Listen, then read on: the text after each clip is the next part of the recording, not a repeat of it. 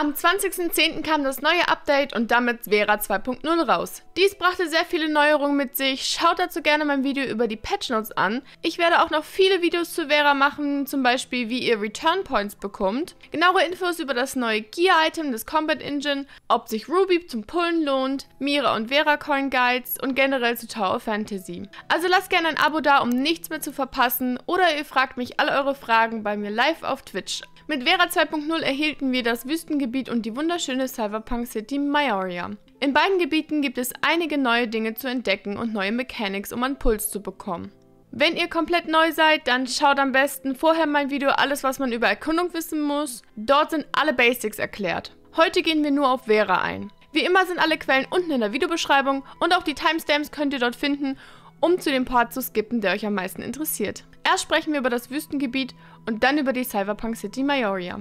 Ich erkläre euch, wie ihr am leichtesten die Map abfarmen könnt und erkläre euch einige Neuerungen zu den Raumrissen, dem Map-Aufdecken, den Sternentoren, dann sprechen wir über die neuen Weltbosse und deren Belohnungen, dann erkläre ich euch, was es mit dem Grauraum auf sich hat und wie ihr dahin kommt und was es dort gibt. Anschließend, wie ihr Vera und Mira in der Wüste findet, zudem erkläre ich euch die Neuerungen der Passworttruhen und zum Schluss erkläre ich euch jedes Rätsel im Detail, um an die Puls zu gelangen. Dann sprechen wir über Maioria, die Cyberpunk City. Da zeige ich euch zwei kleine Geheimtipps. Dann sprechen wir über die NPCs und Tasks, die euch äh, Welterkundung geben. Anschließend, ganz wichtig, gehe ich auf die Mira-Minispiele ein. Dazu mache ich vielleicht noch ein genaueres Extra-Video. Und zum Schluss sprechen wir über die Gachapon-Maschinen, die besonders für Free-to-Play-Spieler von großer Bedeutung sein können. Bei der Erkundungsbelohnung erhaltet ihr sehr nice Sachen. Rote Puls, rote Matrizenpuls, schwarze Kristalle und ein neues Item, um den Suppressor später aufzuleveln. Bis man dahin kommt, dauert es allerdings noch etwas. Dazu muss man erstmal über 77 KK erreichen. Wie auch in den Gebieten zuvor gibt es wieder Aussichtspunkte zu finden, Türme, um die Map aufzudecken, verschiedene Rätsel und eine Liste an Monstern, die man für die Erkundung besiegen muss. Generell, um alle Pulls zu finden, ist es am einfachsten, die interaktive Map zu benutzen. Die findet ihr unten in der Videobeschreibung. Dort könnt ihr euch auch einloggen, um jeden Pull, den ihr findet, abzuhaken. So könnt ihr ganz systematisch vorgehen und vergesst gar nichts mehr. Manche Pulls sind schwierig zu finden. Dafür posten dann einige Spieler Bilder dazu, die sind immer recht hilfreich. Kleiner Tipp, in der Rezeption findet ihr zwei Goldpulls, die man schnell übersieht. Für den einen müsst ihr knapp hinter den Tresen, fliegt hoch, klettert an der Wand lang und dort ist der eine Pull. Den anderen findet ihr weiter hinten bei dem Buff Table, so nenne ich es, ist die Service-Station. Dort fliegt ihr drauf und sammelt das Glitzernde ein. Und dann erhaltet ihr den weiteren Pull. Doch wenn ihr euch an die Karte haltet, solltet ihr eigentlich gar nichts verpassen können. Es gibt auch in Vera wieder Raumrisse. Dies sind Teleporter, die ihr am besten als erstes auf der ganzen Map ansprecht, um diese freizuschalten. Zwei sind etwas schwieriger zu erreichen. Den einen findet ihr im Treibsand und den anderen in so einer Pilzgrotte. In dieser Pilzgrotte findet ihr auch die Pilzrätsel zur Erkundung der Map, doch dazu später etwas mehr, wenn ich auf die ganzen einzelnen Rätsel eingehe. Den Teleporter in der Pilzhöhle schaltet ihr frei, indem ihr euch zu dem Teleporter in der Nähe portet und circa in Richtung des ausgegrauten Teleporter lauft. Ist ein bisschen schwierig. Ich zeige es euch mal. Hier läuft man so rum und dann lässt man sich ganz langsam runterfallen. Und dann sieht man das Licht von dem Teleporter, der leuchtet so ganz nach oben in die Höhe, so ein gelber Schein. Dem müsst ihr folgen. Und dann findet ihr den Teleporter auch. Bei dem in der Wüste, der ist im Treibsand versteckt. Da müsst ihr auf so Swirls im Sand achten. Es gibt anscheinend mehrere Treibsandflächen mit diesen Swirls und die führen in so eine Untergrundstadt sozusagen. Die ist miteinander verbunden, ist so ein Tunnelsystem. Den Teleporter erreicht ihr am besten von dieser Stelle hier aus. Entweder von oben, dann seht ihr es am besten. Da müsst ihr aber erstmal auf die Steine klettern. Oder von unten, das geht natürlich auch. Dann fliegt ihr erst auf diese kleine Insel und von dort aus dann weiter zum Strudel. Und dann lasst ihr euch einfach in den Sand versinken, genau da, wo der Strudel ist. Und wenn ihr durchgefallen seid, dann seht ihr schon den Teleporter dort in der Nähe. Um die Map aufzudecken, sind es in Vera nicht mehr diese großen Omnium-Türme, sondern Geländedatenboxen. Diese sehen so als Symbol auf der Map aus und so sehen sie im Spiel aus. Wenn ihr sie ansprecht, decken sie den jeweiligen Teil auf der Karte auf. Generell wurden die Belohnungen der verschiedenen Sachen mit dem Vera 2.0 Update erhöht, so auch die Sterntore. Drei Sterntore erkennt ihr nun daran, dass ihr von dem ersten Item 3 erhaltet und von dem zweiten Item 2 erhaltet, ohne zum Tor laufen zu müssen, um es anzusprechen. Das hat sich geändert. Mit Vera gibt es nun auch zwei neue Weltbosse, einmal Magma und einmal Rudolf. Den Magma-Boss findet ihr hier auf der Map und den Rudolf Wolf-Boss findet ihr hier auf der Map. Diese droppen beide dieselben Items, daher empfehle ich den Magma-Boss, der ist um einiges einfacher zu besiegen. Mit Glück erhaltet ihr ein gutes neues Rüstungsteil. Das Beste, was ihr dort als zufälligen Wert bekommen könnt, ist übrigens prozentualer Elementar-Damage. Zudem bekommt ihr die lila und goldenen Kristalle. Mit denen könnt ihr im Shop auch das neue Rüstungsteil kaufen. Also sehr wichtige Bosse. Ihr erhaltet die Belohnung allerdings nur mit den goldenen Schlüsselkarten, die ihr aus der wöchentlichen Belohnung erhaltet bei 300 und 600 Punkten. Der Grauraum ist eine gefährliche Zone, die ihr erst mit Level 74 betreten könnt oder ihr habt 40% Erkundung in Vera erreicht. Dort kämpft ihr am besten mit einem Team gegen Monster innerhalb einer Zeitspanne von 8 Minuten. Als Belohnung bekommt man zum Beispiel goldene Nucleus, Omnium Crystals, mit denen man den Suppressor leveln kann, Goldstaubkugeln, die neue Währung Mira und vieles mehr. Vera und Mira Tokens erhält man durch verschiedene Aktionen. Vera Coins bekommt ihr durch Daily-Aufgaben und sie fliegen in dem Wüstengebiet einfach herum. Um diese zu finden, schaut ihr am besten in die interaktive Map. Und wenn ihr Monster killt, dann kommen auch manchmal ein paar Vera-Coins. Zudem erhaltet ihr die Vera-Coins auch, indem ihr Typ 1 und Typ 2 Supply-Pods im Wüstengebiet öffnet. Mira-Coins erhaltet ihr am besten aus Passworttruhen mit Chips oder durch die Daily Mira Minispiele in der Cyberpunk City. Dazu später mehr, wenn ich über Majoria spreche. Außerdem erhaltet ihr Mira durch die Main Quest oder durch die Open World im Wüstengebiet. Dort fliegt das Mira nämlich auch einfach rum. Zudem findet ihr in der Cyberpunk City manchmal kleine glitzernde Punkte auf dem Boden. Dort kann auch Mira versteckt sein. Vor Vera 2.0 habt ihr hoffentlich eure lila und blauen Passwortchips gespart, denn nun ist die Zeit zum Ausgeben gekommen. In Vera befinden sich die Passworttruhen wie in dem Gebiet zuvor auch, doch diese beinhalten nun die Währung Mira. Aus einer lilanen Truhe bekommt ihr 50 Mira und die blauen Passworttruhen kann man nun mit dem Multiplikator mal 5 öffnen. Öffnet ihr diese mit dem Multiplikator auf 5, so bekommt ihr ebenso 50 Mira.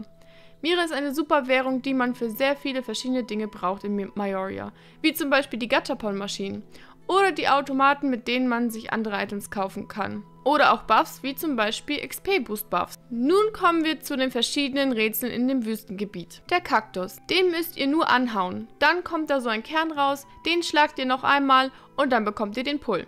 Die freundlichen Echsen, den müsst ihr mit der Emote-Funktion im Chat freundlich zuwinken, dann gräbt ihr euch den Pull aus.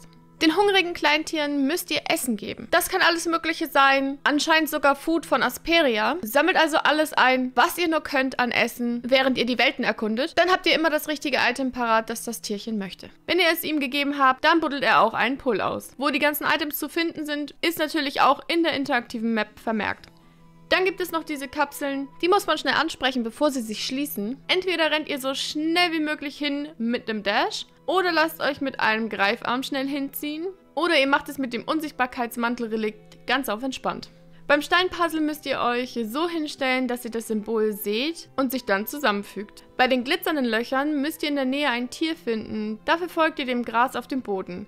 Dies sollte euch zu dem Tier führen. Dann müsst ihr ihn nach Hause begleiten und vor lauter Dankbarkeit gibt er euch einen Pull. Die Elementartürme funktionieren so, es gibt unterschiedliche mit verschiedenen Farben. Je nach Farbe hat es ein anderes Element. Lila gleich Volt, Orange gleich Feuer und Blau gleich Eis.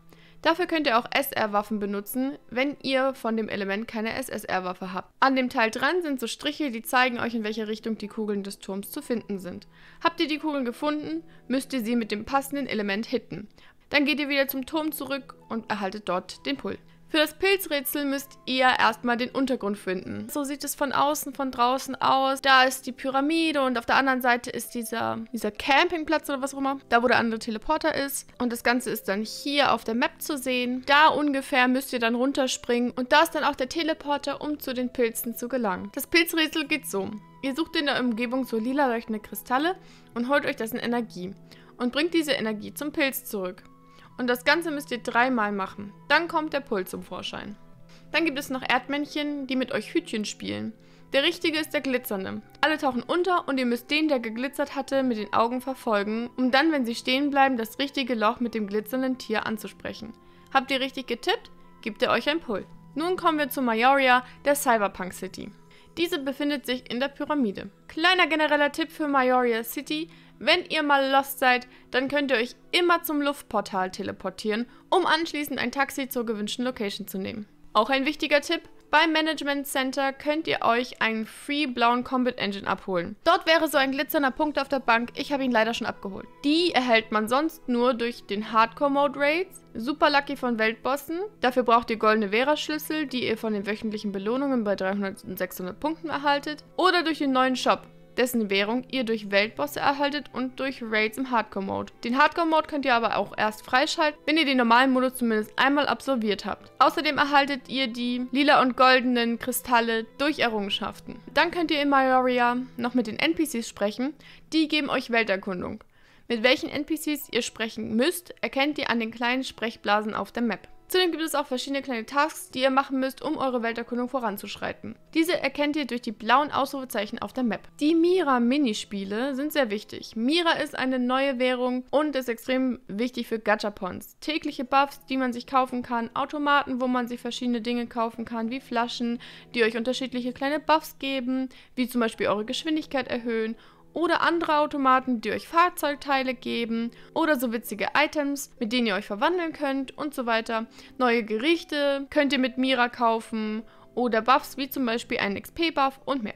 Ich empfehle allerdings für nichts dieser Sachen euer Mira auszugeben, sondern euer Mira lieber in die Gachapon-Maschinen zu investieren. Die anderen Sachen sind entweder nicht worth oder könnt ihr auch anders erhalten, wie zum Beispiel die Gerichte. Da geht ihr zum Beispiel auf die Tower of Fantasy Index-Seite. Dort sind auch alle Gerichte aufgeführt von Vera. Ein Link dazu natürlich unten in der Videobeschreibung. Dann braucht ihr dafür euer Mira gar nicht ausgeben. Und in den Gachapons sind eben SSR-Matrizen, daher sind die viel mehr worth. Wie man die Minispiele spielt und sonst Mira bekommt, dazu mache ich noch ein ein extra Video. Doch ihr findet bisher sechs dieser Minispiele in Vera 2.0. Diese müsst ihr erst finden, damit sie danach auf der Map auch zu sehen sind. So sehen die Dinge aus, die ihr für das Minispiel anklicken müsst. Auf der Map erscheinen sie euch anschließend dann so. Hier seht ihr alle Standpunkte. Die Locations findet ihr ansonsten auch ganz einfach über die interaktive Map. Ein Guide zu jedem der kleinen Minispiele würde das Video hier komplett sprengen. Aber wenn ihr dazu einen Guide haben möchtet, lasst es mich gerne in den Kommentaren wissen. Und dann gibt es dann natürlich auch noch die Gachapon-Maschinen. Die sind sehr nice. Dort könnt ihr nämlich mit Glück SSR-Matrizen ziehen. Es benötigt 10.000 Mira, um eine Maschine leer zu kaufen. Dies entspricht 200 lila Passwortchips oder 1000 blaue Passwortchips. Als Free-to-Play ist es wichtig, für welche Maschine ihr euch entscheidet denn ihr kommt nicht so schnell an die SSR-Matrizen dran. Bei CN war es so, dass die roten Gachapon-Maschinen die wichtigsten waren, denn in der ersten Stage der roten Maschinen erhielt man Samir-Matrizen und wenn diese leer war, bekam man die zweite Stage, wo dann Crow-Matrizen drin waren. Doch dies kann jetzt anders sein auf dem Global, denn sie haben die Belohnungen geändert. Nun weiß noch keiner, wo und ob sich die Crow-Matrizen irgendwo befanden. Daher, wenn man sicher gehen will, erstmal abwarten, bis die ersten die Gachapon-Maschinen leer gemacht haben. Wenn ihr nicht warten wollt, dann geht einfach drauf, was ihr haben möchtet. Es gibt ja verschiedene Gachapon-Maschinen mit unterschiedlichem Inhalt. Diese findet ihr mit diesem Symbol auf der Map. Für manche Maschinen braucht man Vera-Coins. In den Maschinen sind auch wichtige Items zu holen. Diese Maschinen findet ihr hier auf der Map und außerdem noch dort auf der Map. Vera-Coins erhaltet ihr durch Daily-Aufgaben und draußen in der Wüste fliegen diese auch herum. Auch hier empfehle ich wieder die interaktive Map, um diese schnell ausfindig zu machen. Zudem erhaltet ihr die Vera Coins auch, indem ihr Typ 1 und Typ 2 Supply Pods im Wüstengebiet öffnet. Und wenn ihr Monster killt, dann kommen auch manchmal ein paar Vera Coins. Und auch bei den Glitzerpunkten in der Cyberpunk City kann sich Vera hinter verstecken. Habt ihr noch Fragen? Schreibt sie in die Kommentare. Für mehr Tipps und Tricks schaut auch gerne auf meinem Discord vorbei und besucht mich auf Twitch. Dort beantworte ich all eure Fragen gerne live. Ansonsten wünsche ich euch noch ganz viel Erfolg beim Erkunden von Vera 2.0.